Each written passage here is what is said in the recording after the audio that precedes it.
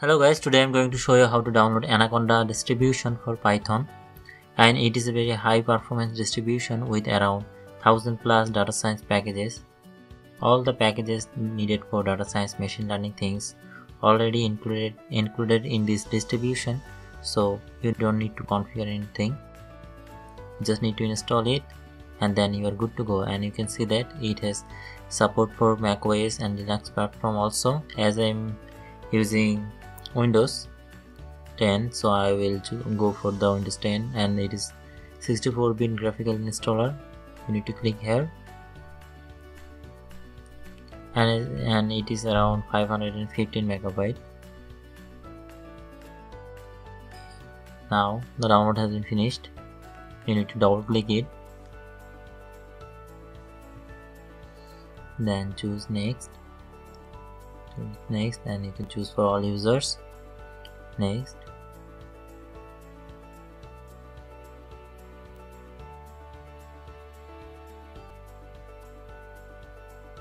Next. Then you can choose the register anaconda and the system path environment. You need to you can also do it later but it is better to do it before because it will add your anaconda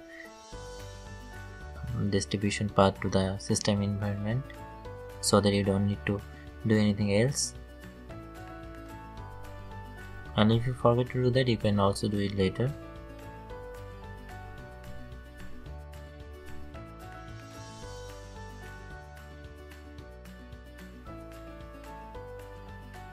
Click next.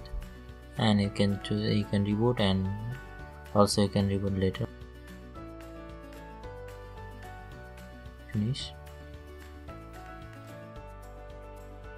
we need to check that whether cmd has got it or not.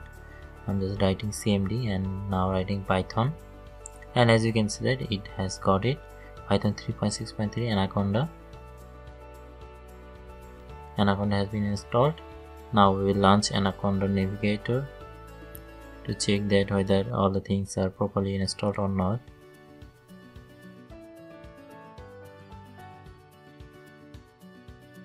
Anaconda is a good distribution I think so and it also install the Spyder ID by default so you don't need to configure anything else. Launch the Spyder ID here you can see that. Here is ipython console. Here you can just write and check whether the library or the python is properly working or not. I'm just using import numpy as np and you can see that it doesn't give any error. I'm also uh, also importing math matplotlib library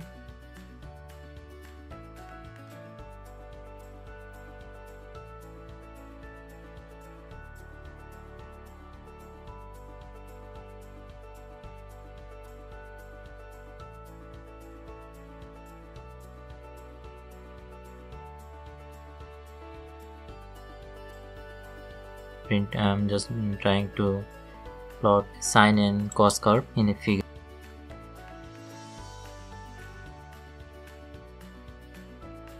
And I'm giving the value of x is around 0 to 3 pi and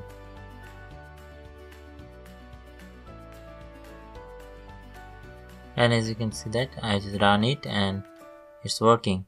Thank you